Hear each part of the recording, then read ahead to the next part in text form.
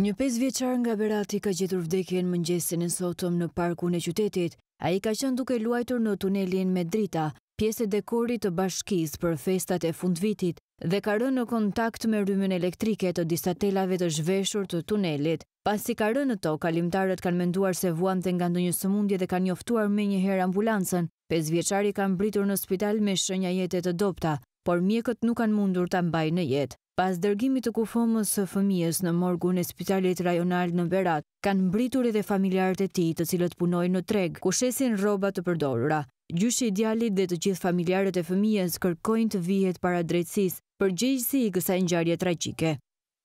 Neve nuk e dimë si i ndodhi çunit, po tek korrenti i bashkisë, korrenti i bashkisë e la të zhveshur atje edhe e mbajti çuni atje, domethënë e kapi direkt.